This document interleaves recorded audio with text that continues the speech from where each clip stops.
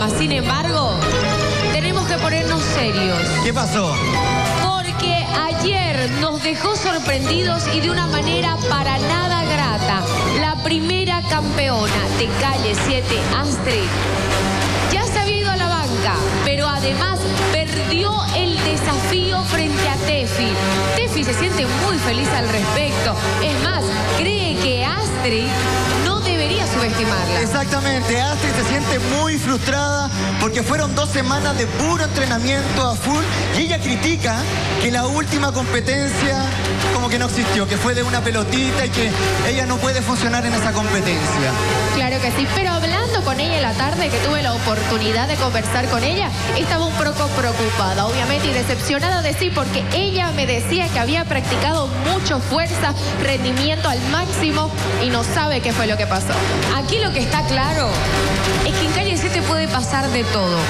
No lo decimos nosotros, pero sí sus mismos compañeros han considerado a poco a la competencia. Aún no ha recuperado su nivel, sin embargo, ayer venció a la campeona. Esto dejó tristeza en algunos, alegría en los rojos que celebraban, principalmente Vivi, quien disfrutó ver a su principal rival derrotada. Hace. Vean esta nota y todo lo que pasó con la campeona de Calle 7 que fue derrotada en esta nota aquí en Calle 7 Ultra.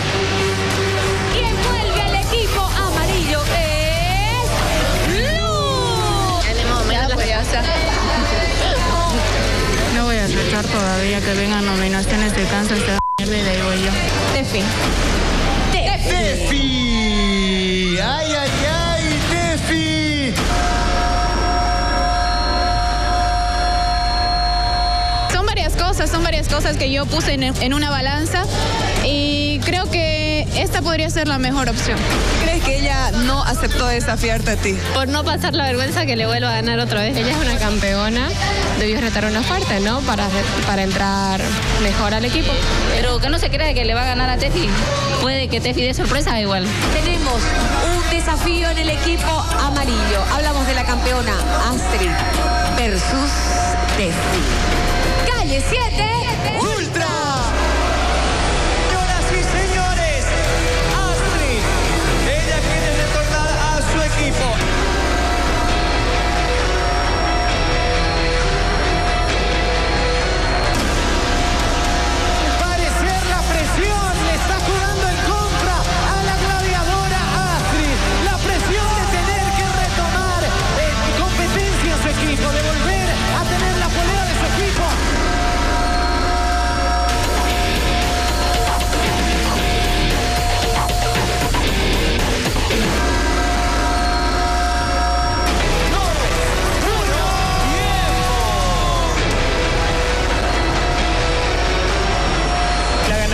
Competencia es la competidora Tefi.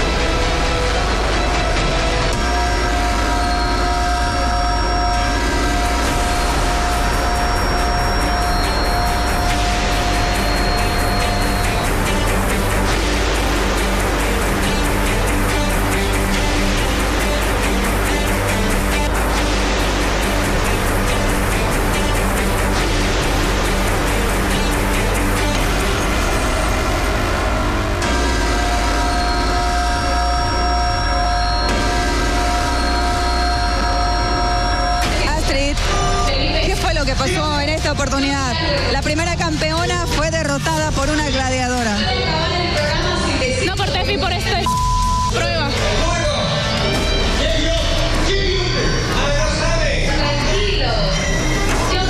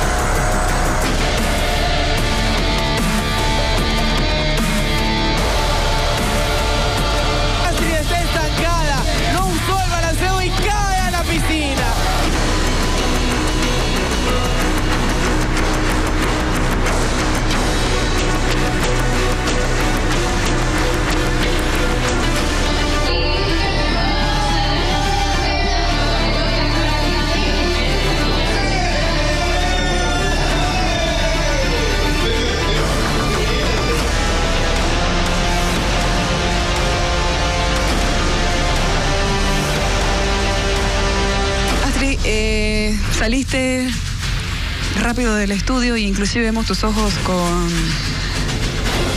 lágrimas. Eh, yo sé que de enojada digo muchas. Me mató entrenando las dos semanas para que me pongan una prueba de pelotitas. O sea, imagínate cómo creen que cómo quieren que esté. ¿Frustra totalmente esta situación ahora de estar en banca y no poder volver nuevamente? Me ¿No era esta la prueba ni ella la ganadora?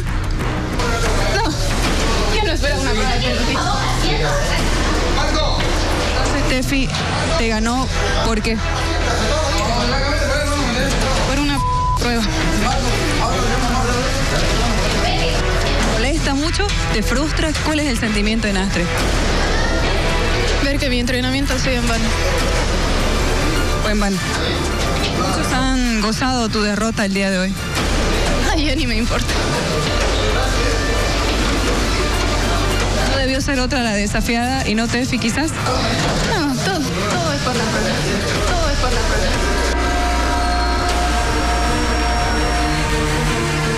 Escuchábamos muy molesta a Astrid en la nota, frustrada por no haber recuperado su camiseta en una competencia frente a Tefi. Astrid argumentaba que la prueba con pelotitas de ella. Sin embargo, ustedes saben que en calle 7 no solamente las pruebas tratan de fuerza, sino también de equilibrio y concentración. habilidades y mucha fuerza también. Y no solo eso, pero en las imágenes que estábamos ahí viendo por la televisión, de lo que va en la competencia, Astrid tuvo problemas en más de una competencia. En el trapecio, en los péndulos, en el caño. y también en escalera con giro. Astrid, ¿qué pasó? ¿Realmente su derrota se debe a una competencia o es que hay algo que sucede en usted y que ahora está tal vez justificándose? Eh, no, no me estoy justificando para nada. Simplemente dije lo que pensaba. No me gustan las pruebas de pelotitas, lo vuelvo a decir. Y bueno, si se trata, si vemos una posible final con pelotitas, déjenme decirles que habemos campeón en el equipo amarillo. Sí, pero disculpa, disculpa, disculpa Astrid, pero para una, para una persona que está compitiendo acá en Calle 7, uno tiene que eh, saber al revés y al derecho las pruebas. Por ejemplo, acá estamos viendo las imágenes, Astrid, y claramente tampoco puedes realizar esas competencias. O sea, la pregunta es, ¿qué está pasando contigo? ¿Son es- justificaciones? ¿Son excusas? No, para nada. Me muestran el caño, sin embargo, yo el caño la puedo hacer. Me maté entrenando hasta que la hice. Son fallas que se cometen en el transcurso de la competencia. No me justifico, me ganó bien cuando le toquen pruebas de resistencia, fuerza y agilidad también saque cara y también sonría como lo hizo ahora. Bueno, recordemos, perdón, que una prueba como esta fue parte de la anterior final de Calle 7. Pruebas en las que se enfrentaron Natalia, Vivi. Y les costó bastante, pero las- les ayudó a pasar a la siguiente etapa. Y hablando de Vivi, ¿qué dice? ¿Qué opina de esta situación? Precisamente me encuentro con Vivi en este momento. Vivi, ¿qué puede responder a lo que dice Astrid? Astrid entrena calistenia, crossfit, gimnasio, llega acá al canal, entrena todo, no puede hacer los péndulos, no puede hacer una escalera con giro, no puede subir el tronco, no puede subir, no puede hacer circuito de escalera, no puede hacer la pelotita. Quiero preguntarle, ¿cuál es tu prueba, Astrid? Bueno, y me pregunto si la vemos a Vivi en una cinta, en una abrazada letal y en muchas otras pruebas más. También quiero preguntarle si la vas a poder hacer. Si te ponen la cinta, te vas a banca, Vivi. Todo el mundo sabe también que tienes debilidades. O sea que perfecta en todas las pruebas no sos. No sos. Puede que no haga la cinta, pero todas las demás las, las puedo hacer y las cumplo todas. Si tu prueba es XFIT, yo te gano. Puedes hacer, Vivi. Tampoco te eches flores porque no las mereces tampoco.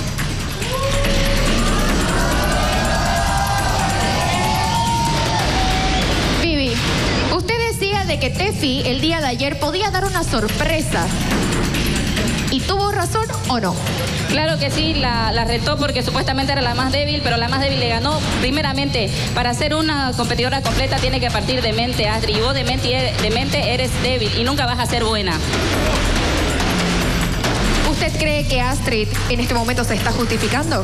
Por supuesto, son justificaciones. Hemos visto muchas pruebas de las cuales no puede y echa la culpa a la pelotita. O sea, es una competencia de todo. Resistencia, agilidad, pelotita, como le quiera decir ella, concentración de muchas cosas, ¿no? Y tiene que ser completa. No necesito justificarme. Yo acepto mi derrota. Estoy en banca. ¿Por qué tendría que justificarme? ¿Estás? ¿Qué tendrá para decir Tefi, Bet? Usted está junto a ella. Precisamente, Tefi, mira muy atenta las palabras de Astrid, escucha con atención. ¿Qué tiene para responderle? Eh, nada, me sorprende, ¿no? Que una campeona esté poniendo excusas, eh, como ella quiera llamarla, pelotita, eh, baldecito. Astrid, te gané y te quedaste en banca. Perfecto, me ganaste, pero ahora, ¿quién sigue, ¿quién sigue en el equipo? Ahora quiero ver que mejores en fuerza, en agilidad, en resistencia y saques cara por el equipo, porque ahora tú sigues en el equipo y si no lo logras, no sé dónde irá. Obvio, obvio, con entrenamiento, no voy a poner excusas. Hacelo. Obvio, lo voy a hacer mientras vos me vas a mirar en banca. Quiero preguntarle a Jaycee el otro día en cancha, que le dijo, vamos a trotar, ¿qué le dijiste? No, no me gusta, poneme a hacer otra cosa.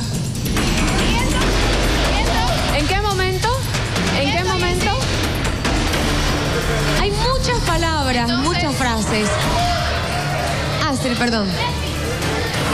No, la verdad que a ella no tengo nada que decirle, muy bien, que sigue entrenando. ¿Y a sus fans?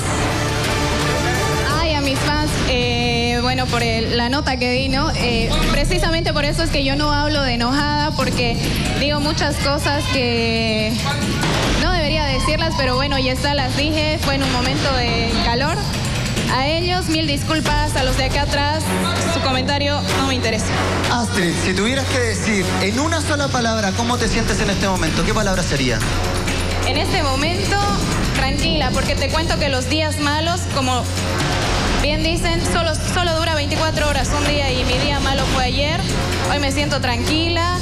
Eh, todavía sigo en el equipo amarillo y bueno, eh, tapa largo, así que voy a seguir aportando en lo que yo pueda.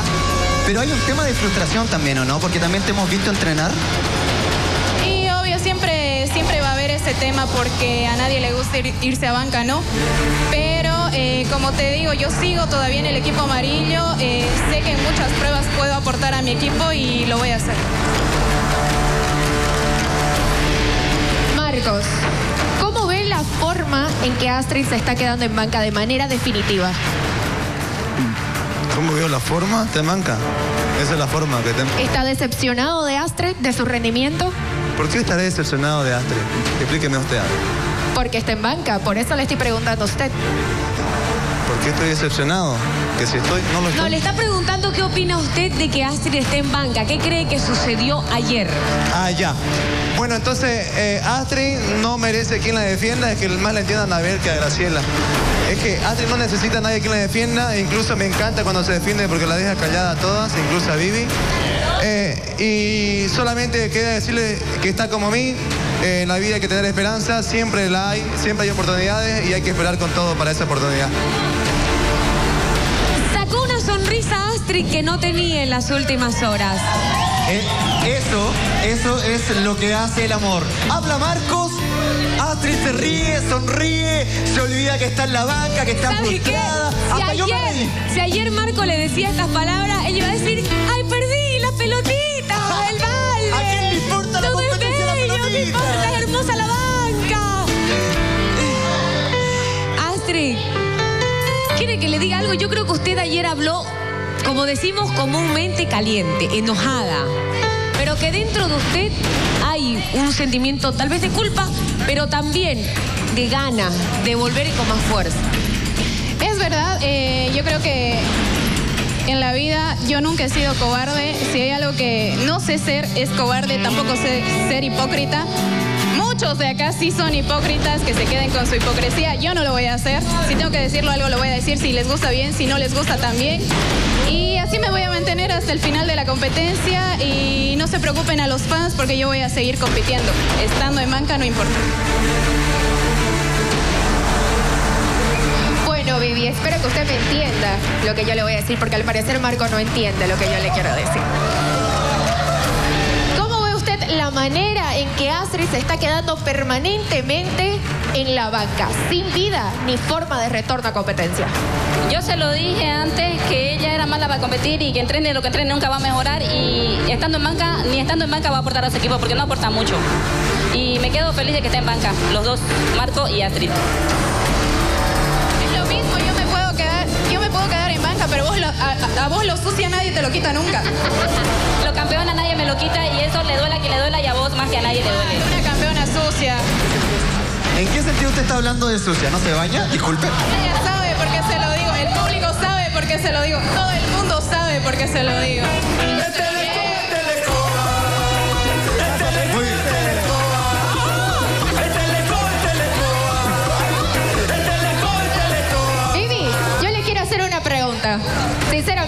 ¿Usted se baña o no se baña?